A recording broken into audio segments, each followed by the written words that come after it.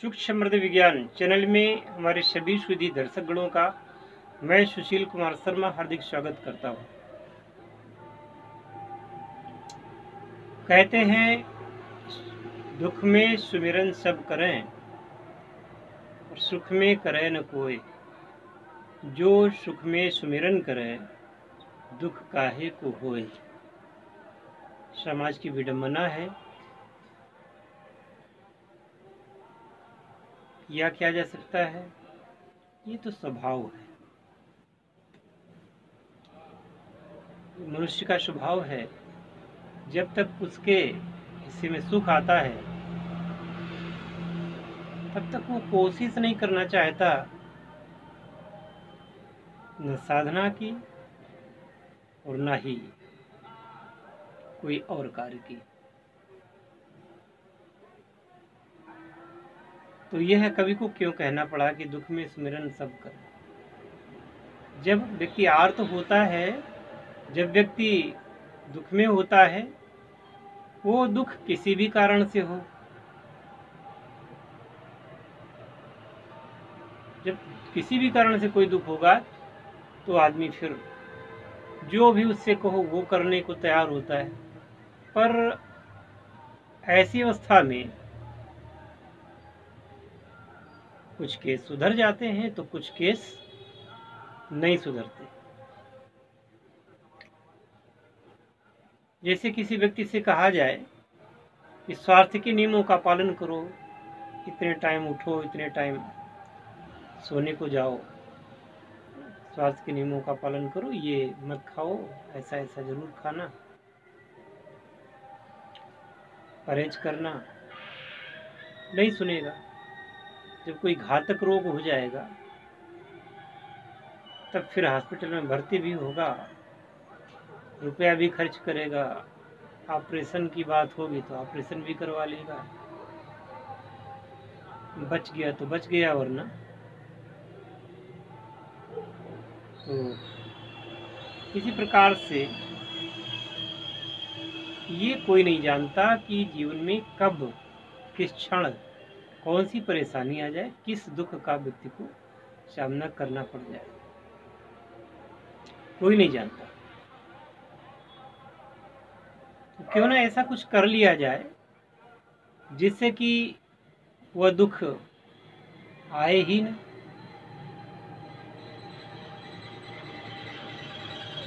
भाई, जब बीमा करवा लोगे तो आपकी गाड़ी का चालान नहीं होगा।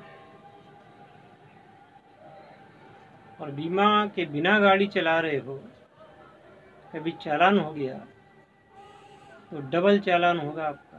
ज़्यादा पैसा खर्च होगा, कोर्ट भी जाना पड़ेगा। वही कहने का तात्पर्य मेरा। आखिरकार व्यक्ति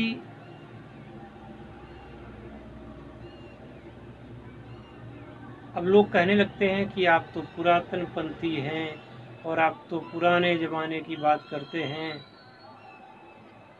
ये नया ज़माना और पुराना ज़माना होता क्या है?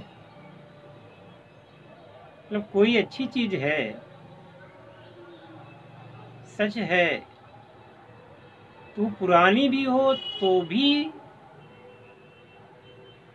उसका पालन करना चाहिए हमको। ये क्या है कि नए जमाने के साथ चलो, पुराने ख्यालों के हो। ये पुराने ख्यालों के हैं तो वो ख्याल किसी को नुकसान तो नहीं पहुँचा रहे हैं, फ़ायदा ही पहुँचा रहे हैं। और जो लोग नए ख्यालों के होते हैं, अधिकांशतः उनकी सारी हरकतें उलझुल होती हैं, बेवकूफ़ानी भरी होती है। तो ये भूमिका कहने का, बांधने का तात्पर्य यही है कि सार्वभौमिक जो सत्य हैं, उनको स्वीकार करें। आज आप नए हैं, कल पुराने होंगे, वृद्ध होंगे। तब जब खुद ही आप वृद्ध हो जाओगे, तब नएपन का क्या करोगे? हुँ? ऐसे ही जो लोग पुराने थे, वो भी कभी नए रहे होंगे। और कुछ चीज़ें ऐसी होती जो बदलती नहीं। सतयुग, त्रेता, द्वापर, कलयुग, देवी और देवता, उनकी साधनाएँ, वो वैसे की वैसे हैं। पीढ़ियाँ आती हैं, गुजर जाती हैं। पर ईश्वर, उसकी सत्ता, ये प्रकृति, ये देवी देवता, ये सब बने रहते हैं। और इनकी साधना इनकी साधना करके आप अपने जीवन के कष्टों को निवारण कर सकते हैं, वो किया करते हैं। बात वही है कि जब तक गले तक नहीं आ जाएगी, तब तक आप बात को मानेंगे नहीं। फिर जब कोई प्रॉब्लम आएगी तो फिर रोएँगे, गिड़गिड़ाएँगे, सब कुछ करेंगे। तब क्या उतना लाभ हो पाता है? इसलिए हर व्यक्ति को जब सुख के दिन हो, उन समयों पर भी प्रमाद नहीं करना चाहिए। उस समय भी हरि नाम का आसरा ले। उस समय भी वो साधनाओं को कुछ करके रखे पहले से तो जीवन भर कृपा बनी रहती है। और चाहे आप जितने भी, जैसे भी विचारधारा के हों, भगवान से बड़े कभी नहीं हो सकते, न कभी कोई हो पाया है। ईश्वर सत्य था, सत्य है और सत्य रहेगा। ईश्वर से बढ़कर के कोई नहीं है। सनातन कभी भी सत्य था, आज भी सत्य है, हमेशा रहेगा।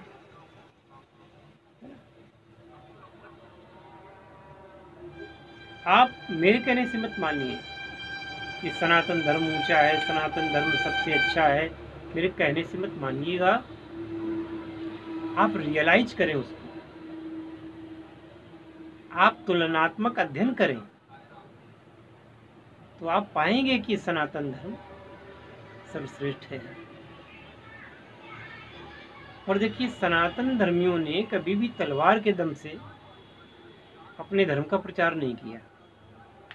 बल्कि उनका तो अपने आप ही प्रचार हो जाता है। उनको प्रचार की ज़रूरत नहीं है। उनको ज़बरदस्ती किसी से मनवाने की ज़रूरत नहीं है।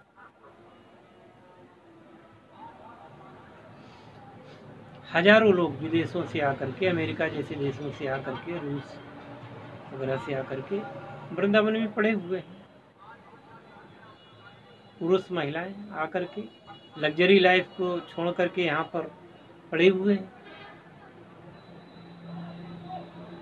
जाने कितने मुस्लिम स्वतः ही हिंदू धर्म को बिना किसी दबाव के, बिना किसी ज़ोर के मान रहे हैं।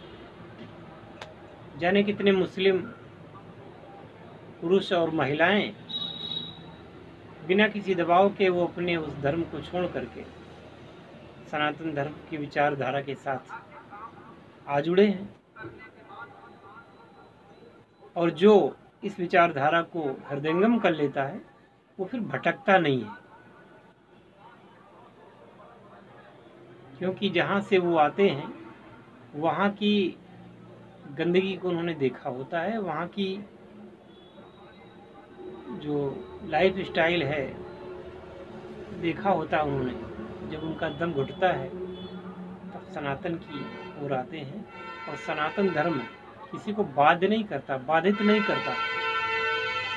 सनातन धर्म छोड़ करके जो चले जाते हैं, उनके खिलाफ यहाँ फतवा जारी नहीं किए जाते। खुद समझ में आ जाएगी तो वापस आ जाओगे। खैर। मुख्य बात यह है कि आप लोग साधनाओं में रुचि लें। इन साधनाओं के माध्यम से आपको जो साक्षात्कार होगा, वो अपने आप में अनुपम होगा, दिव्य होगा और भली प्रकार से आपके जीवन की नैया आगे बढ़ेगी, सुखी रहेंगे, संपन्न रहे और यदि कहीं दुखाया भी वो दुख आपका कुछ बिगाड़ नहीं पाएगा। उसको जाना ही होगा। मैं इसी के साथ वीडियो को विराम देता हूँ। जय शिव शंकर जय भोलेनाथ, हर हर महादेव।